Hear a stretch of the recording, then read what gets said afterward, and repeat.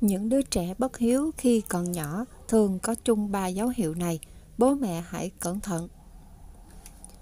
Trẻ được chiều đến mức không biết làm việc gì ngoài hưởng thụ, trong khi cha mẹ vất vả khi lớn lên khó mà hiếu thảo. Nhiều cha mẹ bày tỏ nỗi lo lắng rằng khi con còn nhỏ, họ dốc lòng nuôi con, chăm chút cho con nên người. Tuy nhiên không biết mai sau đứa trẻ có ngoan ngoãn, hiếu thuận với mình hay không. Trên thực tế thì việc trẻ trưởng thành có hiếu thuận hay không hoàn toàn không phụ thuộc vào bản thân của chúng, mà xuất phát từ chính quá trình nuôi dưỡng của cha mẹ. Có những dấu hiệu trong hành xử của trẻ mà nhìn vào đó có thể phần nào thấy được việc đứa trẻ trưởng thành có hiếu hay không để từ đó có sự điều chỉnh dạy dỗ con cho đúng thứ nhất trẻ tùy ý nói năng hỗn hào đánh bố mẹ không à, có nhiều đứa trẻ bố mẹ nuông chiều trở nên thiếu tôn trọng chính người sinh dưỡng mình thậm chí chúng sẵn sàng đánh đập gào thét với bố mẹ khi không được đáp ứng nhu cầu. Không khó bắt gặp cảnh tượng này ở mọi nơi. Đứa trẻ túm lấy áo bố mẹ, giằng xé, khóc lóc để đòi được chiều theo ý của mình. Bố mẹ tỏ ra hết sức vỗ về, đứa bé càng kích động, càng lao vào tấn công họ. Đứa trẻ không ý thức được việc phải tôn trọng bố mẹ hay hối lỗi về hành vi sai của mình. Theo các chuyên gia, nếu cứ để trẻ phát triển theo hướng này, mối quan hệ của con với bố mẹ trong tương lai sẽ vô cùng xấu. Thực tế, mối quan hệ của cha mẹ và con cái ở thời điểm hiện tại phần nào cho thấy mối quan hệ của họ ở tương lai. Trẻ khi nhỏ không được dạy, không được dạy cái cách tôn trọng cha mẹ lớn lên sẽ không bao giờ hiếu thảo giáo dục thời hiện đại ủng hộ việc làm bạn với trẻ, tôn trọng trẻ. Tuy nhiên, điều này hoàn toàn trái ngược với việc khuyến khích, nuông chiều những hành vi xấu của con, bất kể chúng ở độ tuổi nào. Bởi vì như thế, bạn sẽ tiếp tay cho việc trẻ không tôn trọng trật tự, quy định không tôn trọng bố mẹ, dần dẫn đến sự không hiếu thảo trong tương lai thứ hai, trẻ không biết sự vất vả của bố mẹ mà chỉ quan tâm tới bản thân mình. Bên cạnh những gia đình cho con tham gia vào việc nhà và để trẻ dần có sự chủ động, độc lập, nhất định trong cuộc sống, không ít trẻ được chiều chuộng đến mức không biết làm gì ngoài hưởng thụ, trong khi cha mẹ nay lưng ra vất vả. Người ngoài có thể thấy những đứa trẻ như thế thật sướng. Tuy nhiên, thực tế là những đứa trẻ như thế lớn lên khó có lòng hiếu thảo với cha mẹ. Trẻ từ nhỏ nếu không được bố mẹ hướng dẫn để cùng chia sẻ khó khăn, vất vả với gia đình, sẽ không nhìn thấu những cực nhọc mà cha mẹ phải trải qua. Hiển nhiên, nhìn cuộc sống màu hồng, nghiễm nhiên cho rằng những thứ tốt đẹp chúng được đem đến là sự tự nhiên mà có. Thế nên, ý thức san sẻ của chúng hoàn toàn không có. Nhiều cha mẹ sẽ bảo vệ con mà bao biện. Nó còn bé, chưa biết gì. Tuy nhiên, cha mẹ nên độc lập yếu tố tuổi tác trong việc rèn giữa con, lòng hiểu thảo. Quan trọng là xây dựng kết nối tình thương giữa con với bố mẹ. Đứa trẻ chỉ ít ích kỷ hưởng thụ, lớn lên không bao giờ hiếu thảo. Thứ ba, bố mẹ không hiếu thảo với ông bà, đứa con cũng là bản sao. Lời nói, hành động của đứa trẻ thực chất được sao chép từ bố mẹ, bên cạnh tác động của môi trường xã hội. Cha mẹ chính là tấm gương cho con cái, thế nên không thể là có một đứa con hiếu thảo nếu bản thân cha mẹ chúng là những đứa con bất hiếu. Cư xử với người già trong nhà bằng thái độ thiếu tôn trọng, thiếu lễ nghĩa.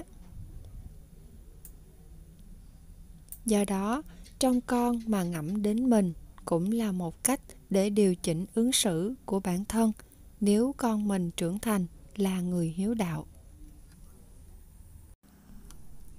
Ba thời điểm nổi loạn của trẻ, cha mẹ lơ là, con cái khó nên người. Thực ra cái gọi là nổi loạn chỉ là cách nói của người lớn. Đối với trẻ, thì đó chỉ là đánh dấu sự trưởng thành mà thôi. Nếu bạn có thể thực sự hiểu được nhu cầu tâm lý phía sau hành vi nổi loạn của trẻ, tôn trọng sự trưởng thành của con, bạn sẽ không phải phiền não vì những điều này nữa thời kỳ nổi loạn thứ nhất, khoảng thời gian 2 tuổi đáng sợ. 2 tuổi là độ tuổi mà trẻ bắt đầu biết được tự ý thức.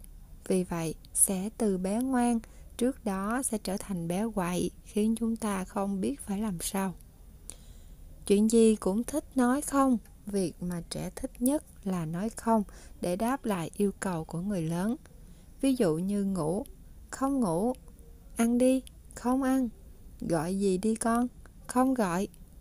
Một số người còn cho biết con của họ khi hơn một tuổi đã bắt đầu nổi loạn như vậy rồi. Đây có thể là do khi mẹ trò chuyện cùng con thường thích ra lệnh cho con đừng làm gì đó, không được làm gì đó. Trẻ sẽ sớm học được cách nói không. Con cái chính là tấm gương của cha mẹ. Bạn làm gì cũng sẽ phản chiếu lên trên trẻ. Vì vậy, điều quan trọng để thay đổi con vẫn là phải thay đổi chính bản thân mình. Hơn nữa, tuy trẻ có ý thức riêng khá mạnh, nhưng trong mối quan hệ với mọi người, có rất nhiều điều trẻ không biết cách biểu đạt ý kiến như thế nào.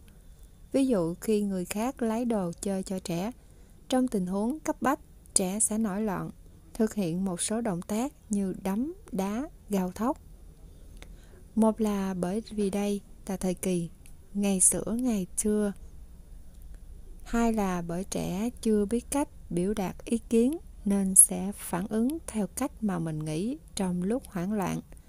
Vậy thì cha mẹ nên dạy con thế nào trong thời kỳ này? Thứ nhất, để trẻ lựa chọn. Trước khi yêu cầu trẻ hãy dùng cách cho con hai sự lựa chọn. Ví dụ như con muốn ăn cơm hay ăn mì. Bây giờ chúng ta đi hay 5 phút nữa. Giờ con thích đi ngủ hay nghe mẹ kể chuyện 10 phút rồi ngủ. Thật ra là rất nhiều khi trẻ cũng không muốn xung đột quá nhiều với cha mẹ. Thông thường lúc này trẻ sẽ lựa chọn trong phạm vi bạn đưa ra. Làm như vậy vừa có thể dẫn dắt con, bên cạnh đó thì sẽ giúp cho trẻ cảm thấy bạn rất tôn trọng trẻ. Trẻ sẽ có cảm giác được tự chủ. Đừng dùng giọng ra lệnh để trò chuyện cùng con ví dụ như không được vứt đồ chơi lung tung. Thật ra thì bạn chỉ cần nói rằng, con chơi xong, đừng nên vứt đồ chơi lung tung, nhớ thu dọn lại cho gọn gàng nhé con, thì sẽ trở nên vui vẻ chấp nhận. Cha mẹ thô lỗ, trẻ sẽ học theo tính thô bạo của bạn rồi, sau đó không ngừng lấy độc trị độc. Vì vậy, người lớn trước tiên phải thay đổi một phần trăm thì con sẽ thay đổi 99% và cho con thời gian chuẩn bị. Tuy trẻ chơi là chính, thế nhưng đó là công việc của riêng con. Không phải bạn lớn tiếng bảo dừng thì sẽ buộc phải dừng ngay. Bạn phải cho trẻ thời gian để phản ứng. Ví dụ như trước khi ra ngoài, hãy nhắc trẻ trước rằng 5 phút sau chúng ta sẽ ra ngoài nhé. Hoặc thay câu, mau rửa tay, rồi ăn cơm, đừng lề mề nữa bằng con à 5 phút nữa chúng ta ăn cơm nhé. Thử nghĩ mà xem, trẻ sẽ vui vẻ chấp nhận câu nói nào hơn. Cách nói khác nhau, tất nhiên sẽ thu về kết quả khác nhau. Thứ tư là trò chuyện và làm gương cho con. Đứa trẻ là một tay chúng ta nuôi lớn từ lâu, đã biết rõ tính khí của mẹ.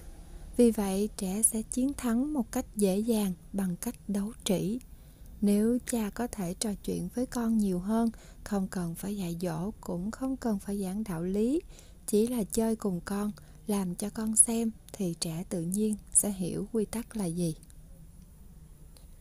Thời kỳ nổi loạn thứ hai, đó là giai đoạn từ 7 đến 9 tuổi.